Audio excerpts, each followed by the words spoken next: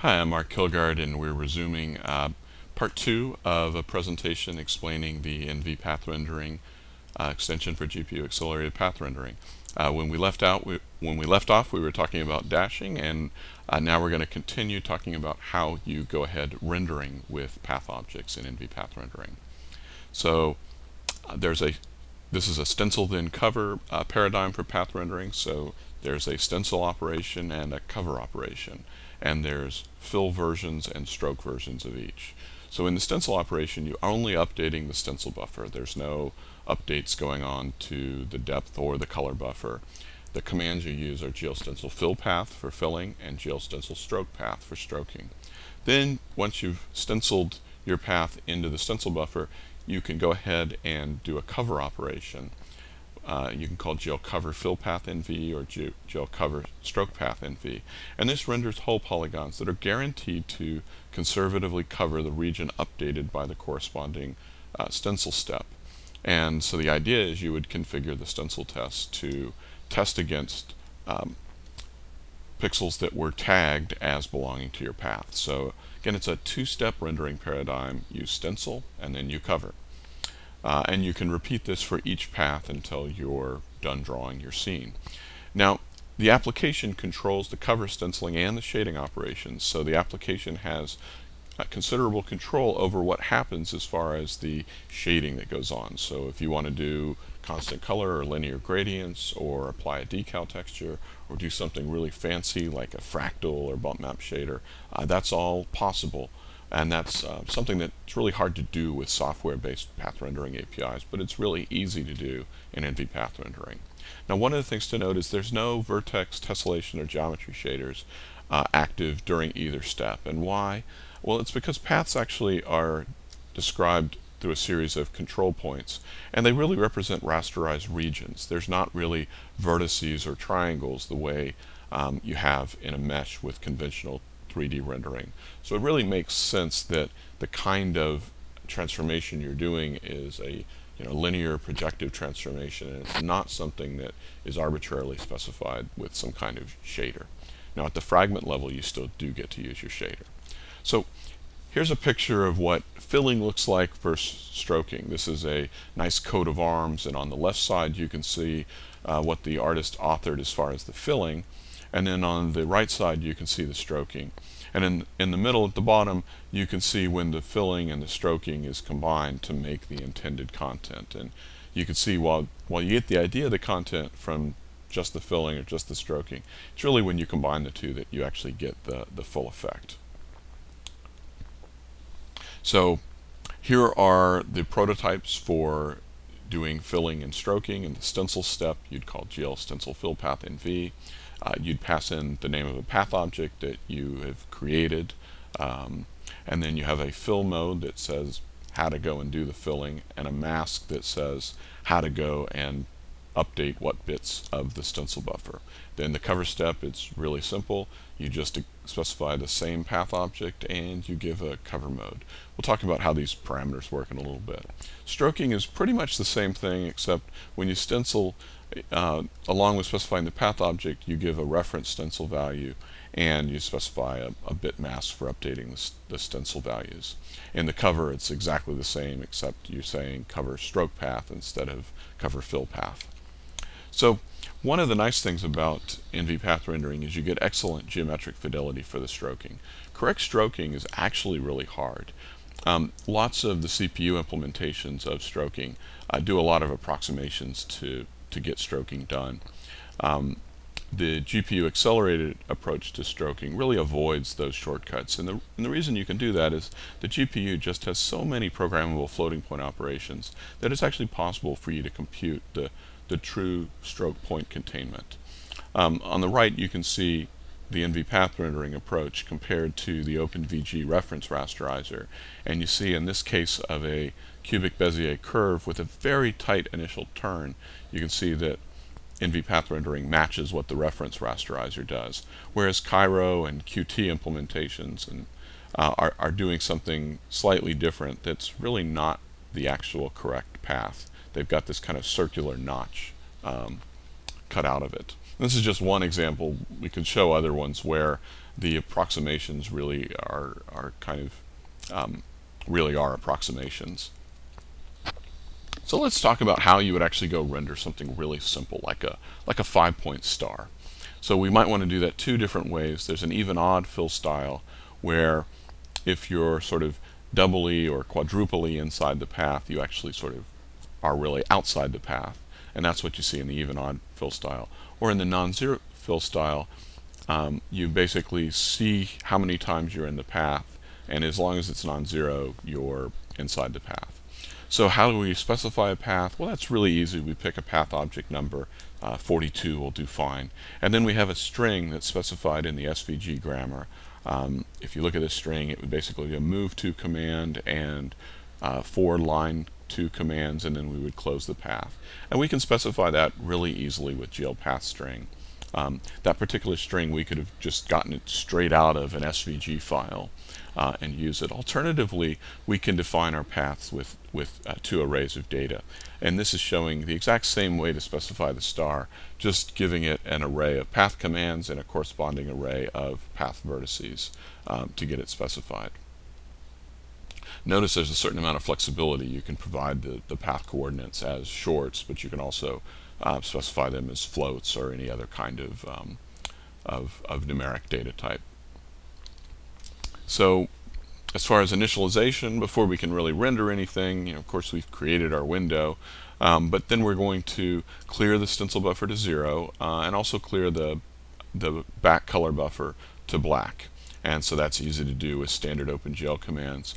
And then we're going to specify the paths transform. And um, here we're going to use the direct state access extension to make this really clear and easy exactly what we're doing. But we set a projection matrix and we set a model view matrix and there's nothing really specific to path rendering going on in these slides. Uh, now we're going to go and actually do our rendering. So uh, first let's do it with the non-zero fill style. We're going to stencil the path. We call GL stencil fill path. We give our path object, remember that's number 42, and we're going to give our mode, which is count up, which says how do we count into the stencil buffer. We're also going to specify a mask of what, pix what, what bits in the stencil buffer we're going to update. We're going to update the bottom five bits by specifying the 1F mask. Usually you'd specify the all the bits, the FF mask, so all eight bits of the stencil buffer. But here, just just to show off, we'll we'll set a mask that's something other than FF. Now we're going to go cover the path. Well, here we can configure the stencil test however we want to. So we enable the stencil test. We say if we're not equal to zero, uh, and we're testing the bits, the, the bottom five bits, then we're going to pass the stencil test. And then the stencil op says if we pass the stencil test, uh, we're actually going to set the stencil buffer back to zero. So that means once we've found a pixel that's in the star we're going to update it and then set its stencil value back to zero. And that's good because now we'll be ready to render the next path if we want to render more than one. Now we set the color to green. We're just going to use fixed function uh, constant color shading here. Um, real easy. And then we're going to cover the fill path and we're going to say use a bounding box to do that to keep it simple. Uh, and that's going to draw on the right uh, this non-zero fill style five-point star. Now, if we wanted to do the even odd fill style, it's the same as we had above. It's just we're going to do a different stencil func command. And we're basically going to say not equal, and but we're only going to test uh, the least significant bit. So our mask is going to be set to, to 1 instead of 1f. So we'll really just be looking at the even odd status. And sure enough, that's going to render our star with the even odd style. So here's kind of a pipeline that shows this all fitting together. Um, you can see on the right side uh, we can specify a path object and then we go and say let's do the stencil fill command that enters in the path object here. We're going to do some projective transformation on it and this is sort of per path um, region operations on the filled region. We can clip and scissor it with standard clip planes. Uh, and then we're going to do window ownership, depth test, stencil test, all that good stuff for sample accessibility. And then for every pixel in the frame buffer that's accessible, we're going to compute the winding number of the path with respect to that particular pixel. And then we're going to update the stencil buffer by either incrementing, decrementing, and these are modulo increments and decrements, or inverting the bits of the stencil buffer. Notice that the only thing we're updating here is the stencil buffer. Um, these all are per sample operations. So now let's look at what happens. This is the stencil test. The next slide is going to show the cover step. A same sequence of operations, just, just named slightly different. So let's come back over here and we take our same path object, we go through uh, the path front end, we do our transform, we clip and scissor if any of that stuff's enabled, we do our ownership tests.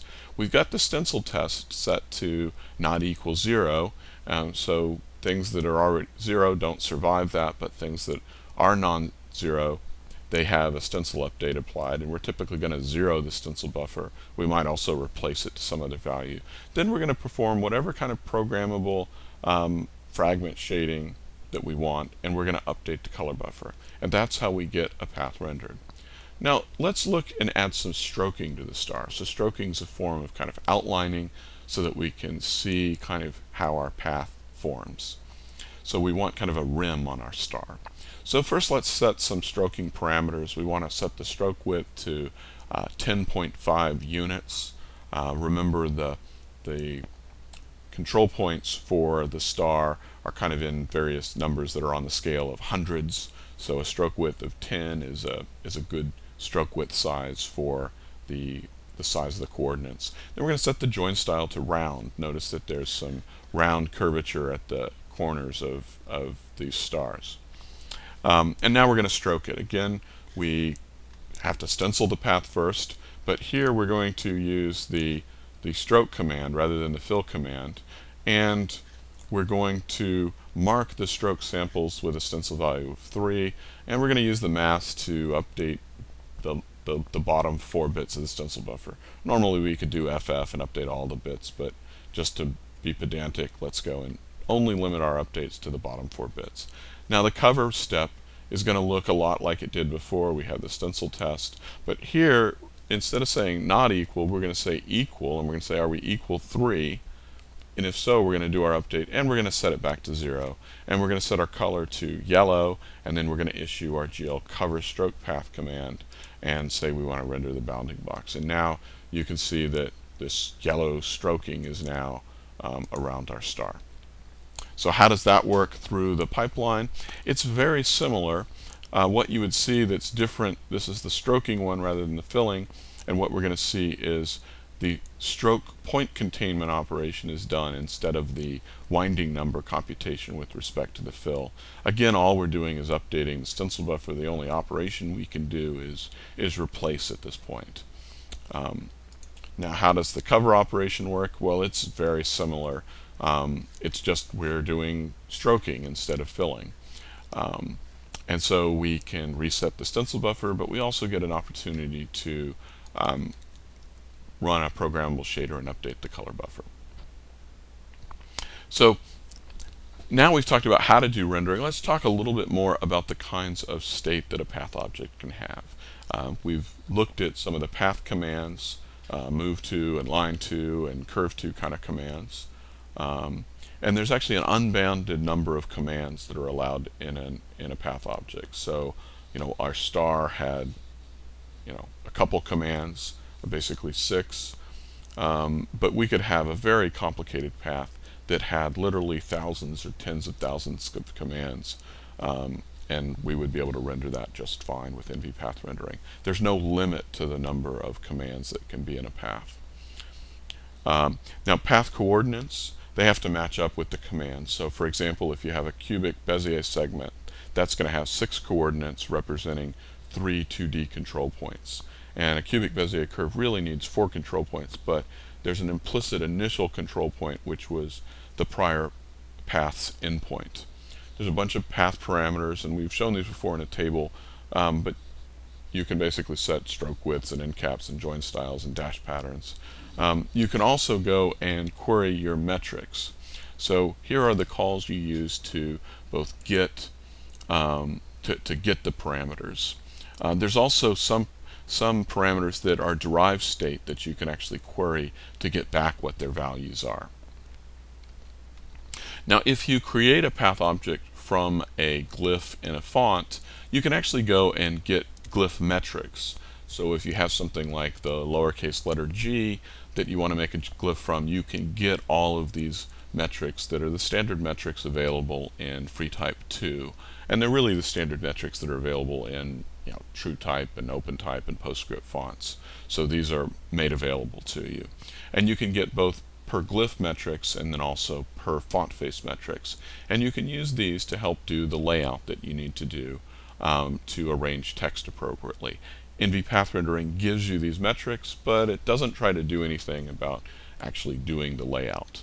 So here are the actual per glyph metric names, and you can see these here along with their description, and there's a bit mask that you use to query these. Now, there's also per font face metric names. There's a few more of these, and so you can query all these to find out what the status of your um, of your font face. And you can pick any glyph and get the per font face um, parameters that correspond to that glyph. Now, one thing that is important to do is do kerning. And that's a, a feature of layout, and NV path rendering does try to avoid um, the more general issues of text layout, but kerning requires uh, you to know information about uh, metrics between the relationship between two adjacent uh, glyphs. And so there is a query that allows you to get the path spacing so that you can actually go and properly kern these so that they look aesthetically pleasing. So there's a call GL get path spacing. It has a couple different ways that you can actually get back kerning information. And the kerning information that's provided back to you is immediately useful for instance path rendering. And that's what we'll talk about next. Uh, we're going to rejoin with part three uh, talking about path instancing.